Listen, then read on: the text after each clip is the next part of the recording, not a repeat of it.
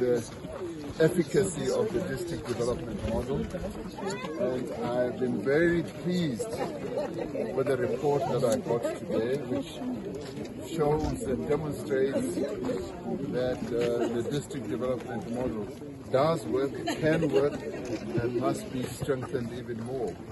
So we're putting it to grade test here, and the implementation thereof will yield really positive results in terms of uh, our ability to deal with this disaster. Obviously, our people here want everything to be done immediately. One of them actually said they want everything to be finished in a month.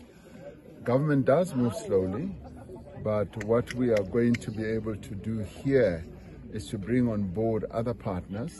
And uh, indeed, the Mining Council has said that they are willing to work with us to bring to bear their own technical prowess, assistance that we can get from them.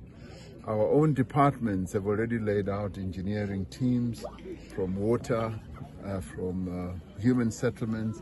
They're already on the ground. So a combination of private sector, NGOs and government working together should be able to produce really good and positive results for the people here.